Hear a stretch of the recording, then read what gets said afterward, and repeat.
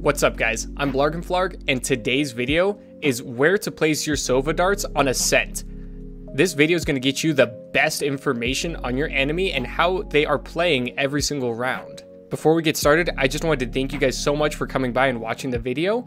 Don't forget to hit that like and subscribe button down below on YouTube and check out my other social media platforms like Twitter to see content updates and when I'll be doing different events and giveaways. Also, don't forget to check out my live stream over on Twitch. I stream every Tuesday and Saturday night. Of course, that is subject to a little bit of change because life happens. We all know that. Now let's get to what everybody's actually here for and show you some darts.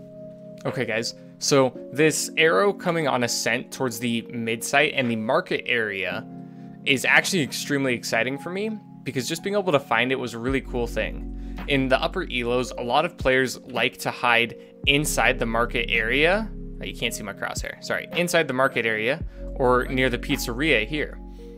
Those areas are really hard to get arrows into without revealing yourself or your team's intentions to the enemy. So when I found this arrow, I was actually extremely excited. Let me show you how it goes. So let's make setting up this arrow as easy as possible. What I want you to do is line yourself up with the right side of the attacker side spawn headed towards mid or the A site. Walk all the way up to this brick line here, and then while facing straight down, make sure that your charge bar is just over the line to where the bricks are horizontal here. From that point, I want you to look up, up, all the way up.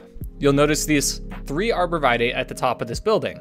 What I want you to do is line up the top edge of the charge bar, you see that? top edge of the charge bar with the very top of the tree.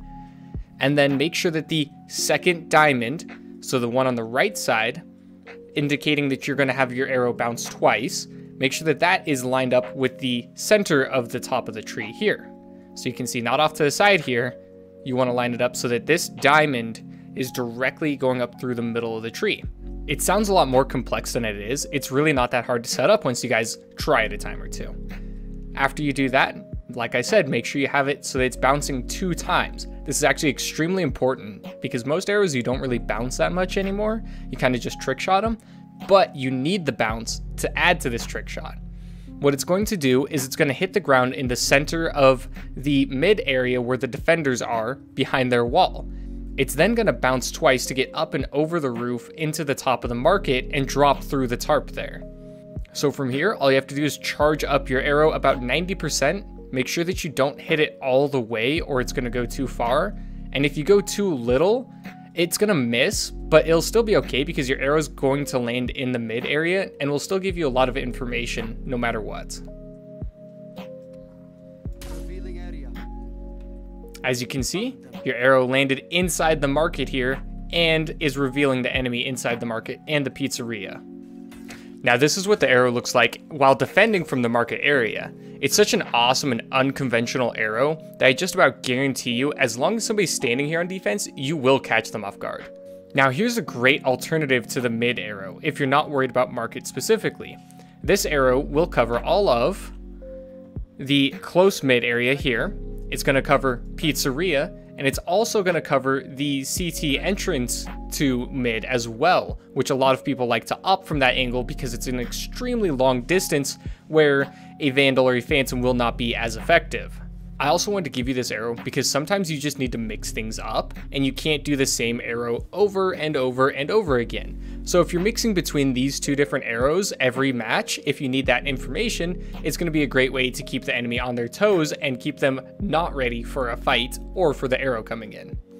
The best way to line up this arrow is from this corner here, so pushed right up against it, and then take your aimer straight up until the left diamond that counts how many bounces your arrow will do is right on the bottom lip of the building and it is going vertically lined up straight with this lamppost. You want it to go just on the outside edge of the lamppost here.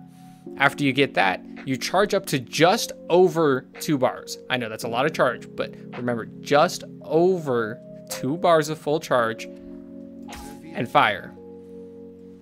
If fired correctly, as you can see, this arrow will actually land on top of the building and be extremely difficult to destroy while still revealing enemies in the CT spawn location, the pizzeria, and holding the close mid gateway.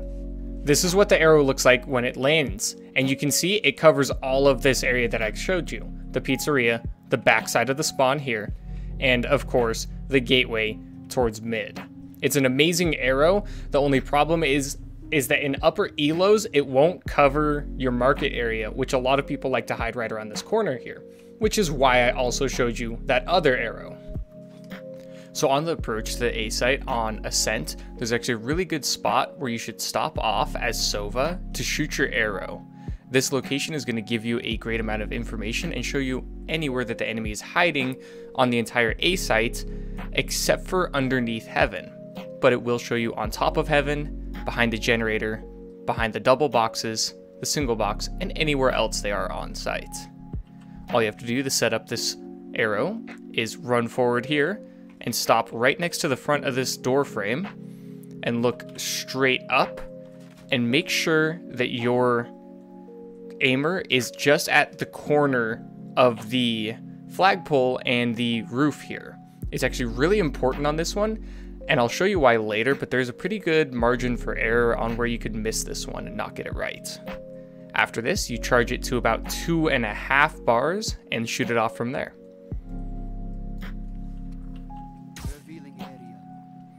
As you can see on the minimap, it lands right on top of the building here, and we are revealing enemies in heaven and on the rest of the site. Now this is what the arrow looks like when it's not good. As you can see, it lands on the tilted side of the roof here, so it's actually not revealing anything on the site. When you shoot your arrow, you want it to land on the flat edge on top of the roof here. That is why it's so important to get my aimer exactly where I was showing you. Otherwise, it's going to look like you are hitting it when you're really not. And there you go right on top of the roof so that it's revealing the entire site. And this is what the arrow looks like when you're actually defending on the site and you can see where it actually reveals. Everywhere on the site, including below underneath the generator down here it reveals. Now as you can see it reveals the whole site, but I do suggest that you go into the practice tool and try this one a time or two before you just run into a match thinking that you're going to hit it because as much as I gave you a great lineup for it, it is still a very difficult arrow to hit, and sometimes you're going to shoot it out thinking that it's perfect when it's really not, unless you have that lineup down to muscle memory. Okay guys, for the next arrow, we're going to attack the B site. What I want you to do is I want you to run up to this little hut here in the B lobby and jump up onto the box and run up nice close to the hut here. Once you're on the box here, you want to line your aimer up above the hut and just outside of this little space-time warp to the right side. Get the top left corner of your charge bar just off the edge of it. From here, you charge your arrow about halfway up, so about one and a half bar, and let go. Where this is going to land is, as you can see, right on top of this box at the back side of the site here. As you can see, the arrow lands right on top of the double stacked box here and gives you an immense amount of information. This will tell you if anybody is hiding in this corner here, if anybody's hiding in the back corner, or behind this double box in the center of the site. It also reveals anybody on the catwalk on the nearby wall, which is extremely important because a lot of people, while defending the B site, like to defend from this point on the catwalk right here behind this painting, because they're actually able to wallbang through that wall and get a lot of damage off for free. This arrow also reveals the back site in most locations, but not all. Since it's right on top of that box there, it reveals all the way inside here and around to this corner here. Another nice spot that it reveals is back in this corner behind the hut here. This is extremely important because it's a super safe spot for a defender to be where they can take a good fight and still get away without losing their life. So while defending from the A site, if you want to probe and get some information on whether the enemy is going to split towards mid or even come towards the A site, it's extremely easy to do this. You don't even have to move far. From the spawn, walk up this ramp and stop right along the tarp here, and then put your aimer about right below that bar right there. Doesn't really matter too much to the left or the right. Honestly, the right side's better than the left because it's going to get you further recon towards the mid area now without any bounces, charge your arrow to about two and a half bars and then let go. What this is going to do is it's going to go all the way down and hit this wonderful giant building wall at the backside of the A lobby. This is like called Gelato or something weird with some creepy gelatin monsters on the front of it. But it's an awesome wall for catching your arrows and even gives you a great angle on looking towards the mid area and A. It covers both of them completely and is easy to hit. I like this arrow a lot because as you can see, it's going to catch all the people going towards the A site and the majority of people even going towards mid before they get out and peek that angle. Now, if you're defending the B site and you want to get information on the enemies attacking B or going from B lobby towards mid, what you can do is if you start here on the site, line yourself up on top of this wheel right here, and then take your aimer to the second to top window. You see there's a window right here and then there's the very top window. What you want is this one right below the top window. Take your aimer just to the side of it there and add one charge of bounce. So with one bounce added to it, charge your arrow about halfway through. So one and a half bars. Let go. And it's going to bounce off of the clock tower and right into the center of the courtyard. This arrow is going to do you a lot of good in pushing into the B tunnel area and the B connector to mid. It's going to give you all that information in one shot. As you can see, bouncing this bolt off the clock tower will land it right in the middle of the courtyard here, which gives you great information on anybody heading into the tunnels or even splitting towards mid from the B site. Thank you so much for watching my Sova Ascent Dart Guide. I really hope that you're able to put this information to good use and win some matches, guys. Thank you guys for watching, and you guys have a great day.